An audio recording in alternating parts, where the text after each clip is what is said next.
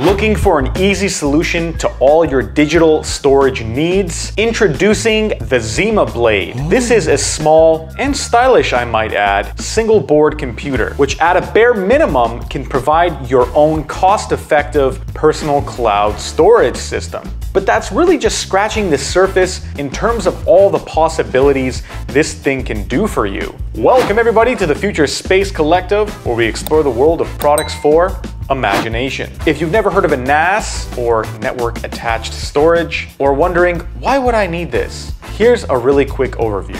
So in today's digital world, storing and accessing your personal files across your devices is more important than ever. Whether you're looking to archive or share files of any kind really, a home server or NAS might be the innovative piece of tech you need in your home. But you see, it only just starts there, as these home servers are actually just dedicated computers that can be used for a huge range of functions simultaneously. This is achieved through different loadable apps, which I'll show you later.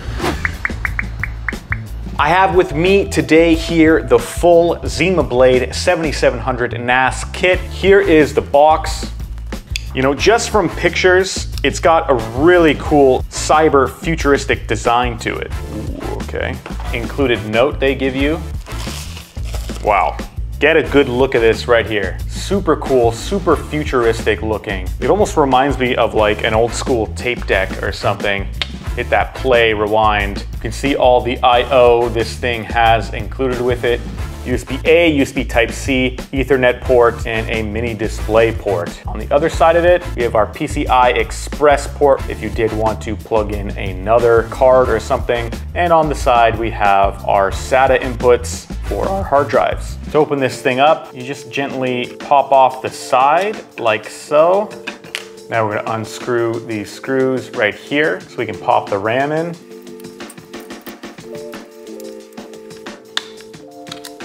Okay, so now the RAM stick is in.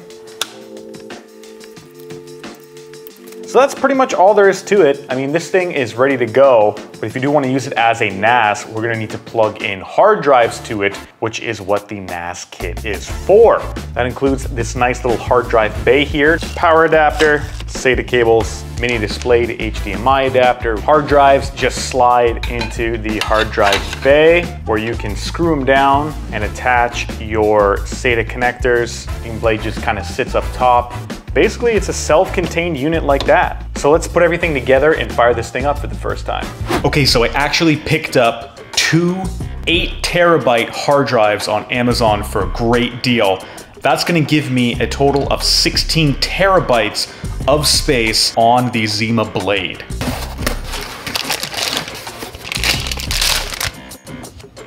So I'm gonna take out my old hard drives I was using to test this thing. And it's really great because you can mix and match hard drives of any size. And then in the software, you basically combine the two drives into one drive for your network attached storage.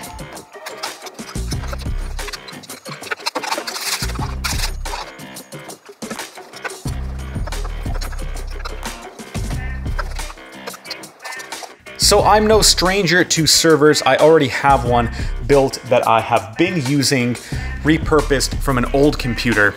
But the thing is, it's big, it's bulky, it's heavy, it draws a lot of power, and it takes up a lot of space compared to this small package so I personally plan to use this thing as a backup server for my files, which means I can finally get rid of all the backups I have in here.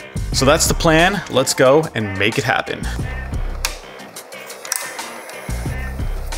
So once you plug in your Zima Blade via ethernet into your router or home network, you're gonna boot up your browser. You're gonna type in casaos.local. If it's your first time, it'll allow you to set up a login. Once everything is up and running, it should look a little something like this. We click our storage manager, go ahead and give your drives a format. We're gonna go over here to merge storages. We're gonna click both of the drives, hit submit. Basically, it combines both the drives together to be used as one one drive. Okay, so right away, if we go into files, we can actually start uploading files or folders through this web browser immediately. Test folder, just drag and drop, and you can see it quickly uploads You can click it back and you can go ahead and play it. To connect to your computer as a folder, you click Files, we're gonna hit uh, Share, and because we're on a Mac, we're gonna copy and paste this address. I'm gonna open a new Finder window, hit Go, connect to server, paste in our address, and boom, quick little trick. We're gonna take this, we're gonna drag it, and now we have a shortcut to our server in the sidebar here on a Mac. Here's some files. I'm gonna drag one over. It's gonna start copying. If you're on a Windows machine, the process is also relatively easy to connect. You're gonna open up your Window Explorer here. We're gonna hit Map Network Drive, hit reconnect that sign in, hit finish. As easy as that. So now what you can do is you can actually make a shortcut to it, just like I did on my Mac. Going to our now pinned network drive. You can see the files there that we just copied over. We can copy it to our desktop. And this is a really simple, easy way to back up your files or share between different computers. Super awesome, super simple. Really love it. Okay, so another essential must-have app that's really cool is called Plex Media Server. So if we click through to the App Store, there's gonna be an array of apps you can install. But we're gonna go ahead and we're gonna install this one called Plex. It runs on the computer where you keep your media. In this case, we're running it off of the Zima Blade server itself. You're gonna point it to a folder on your server. Plex is gonna index that, and then you can now play back that file anywhere. It's really cool. Let me show you. So I'm gonna call this JM Z Make sure allow me to access my media outside my home is finished. Okay, we're gonna add a library. It will automatically index different types of media. I like to use this for my home videos. I'm gonna hit other videos. I've loaded in a file to show you as an example, a future space vid. hit next. We're gonna browse for that media folder. So you're gonna look for the folder that you've created on your server. So in my case, it's gonna be under media. I'm gonna add that, add library, hit next you'll see it will index the videos you've added so you can go ahead and play them right in your browser. But the really cool thing with Plex is you can actually access this now from anywhere. So if you're on a different computer, you can literally go to plex.tv, log into your account, and you can watch your files there. If you're on a smart TV, you download the Plex app, log into your account, and now you can watch your added files there. And it's really not that complex if you break it down.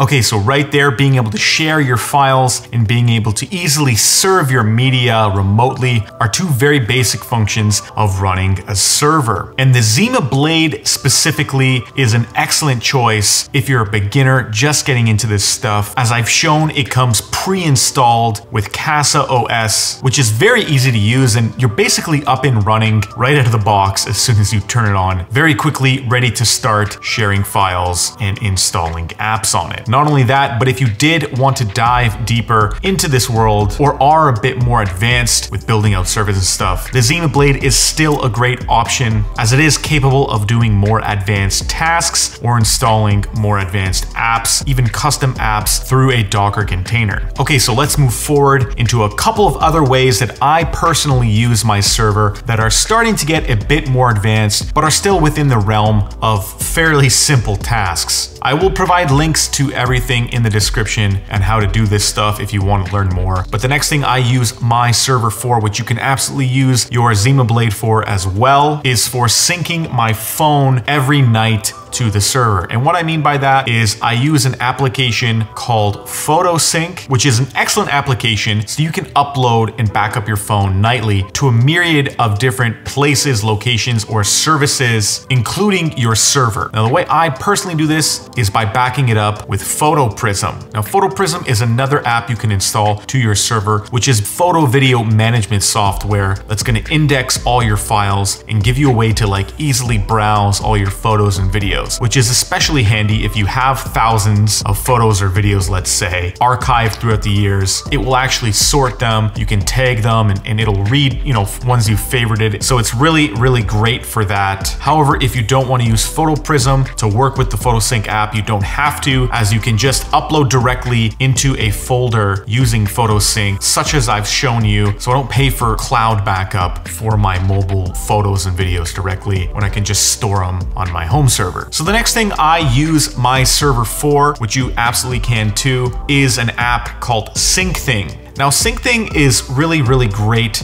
because it allows you to keep two different folders in sync. Take a folder you have on your computer, let's say, you can have it back up or sync that folder to a different location on your server, let's say your Zima Blade server or a different server, or you can keep it in sync in multiple places. And SyncThing is really great because as soon as you move a file into that folder, it's gonna automatically detect that and it's gonna make those changes. There's a ton of different options and ways you can set this up to keep one folder, the main folder, syncing to other folders or have them both syncing to each other. And this allows you to use your computer or your laptop as sort of like a personal cloud. Whereas instead of just using this as like a network attached storage, instead you can now sync files from your computer to have them in both locations and use your server as a backup. And the last app that I'm using, which you can too, is an app called TwinGate. In a nutshell, TwinGate gives me secure remote access to my server when I'm away from my home, when I'm away from my local network,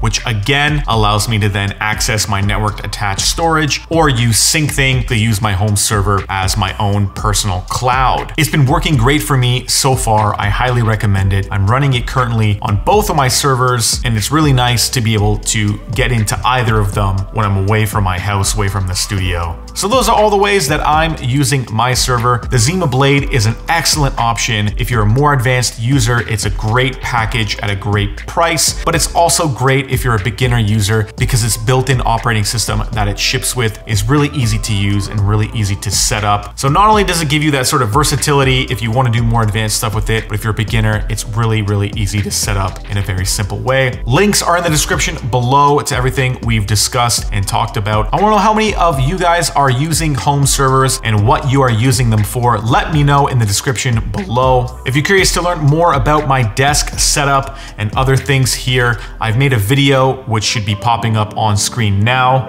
You can click that and check it out. All right. See you in the next one.